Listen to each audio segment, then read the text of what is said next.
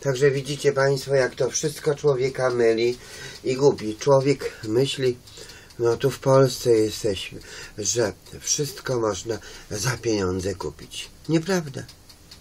Mądrości za pieniądze nie kupisz. Trzeba, oprócz pieniędzy, trzeba chcieć.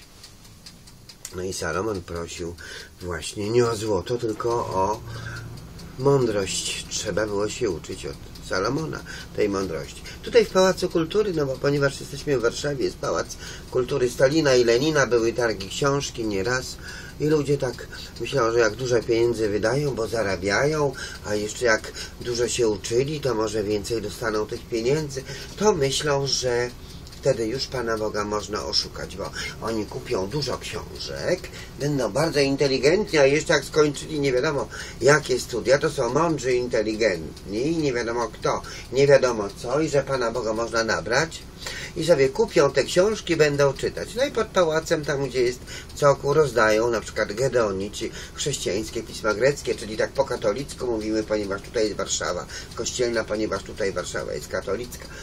Proszę Państwa, chrześcijańskie pisma greckie rozdają za darmo, oni je biorą i wyrzucają na śmietnik. No bo Polacy właśnie ostentacyjnie bardzo lubią coś wyrzucić do śmietnika, pokazując, że albo są bogaci, albo są za mądrzy na to. No to po co Polakowi na przykład e, Nowy Testament, czyli chrześcijańskie pisma greckie? Niepotrzebne. Polakowi to jest niepotrzebne. Także widzicie Państwo, przez zarozumiałość, butę i pychę, no niestety, niestety. Także proszę Państwa,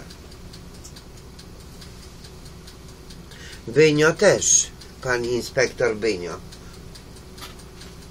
myśli, że poprzez takie różne pytania, zadaje pytania, że on dowartościuje siebie, poczuje się mądrzejszy.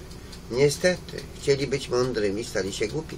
Pytań takich się nie stawia o słowa, o wyrazy, bo to sprzeczali się faryzeusze i saduceusze i dzieci. Faryzeusze i saduceusze sprzeczali się o słowa i bili.